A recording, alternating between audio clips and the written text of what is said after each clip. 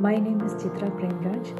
Uh, I am a student of this Institute of International Teachers Training Mm, and I joined uh, the course of International Diploma in Pre and Primary Teachers Training course and I completed the course. It is very useful to me uh, and uh, now I join in another course uh, International Diploma in School Management, Administration and Leadership. Hope I can complete this course in future.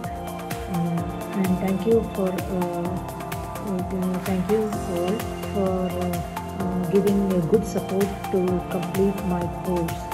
Thank you so much.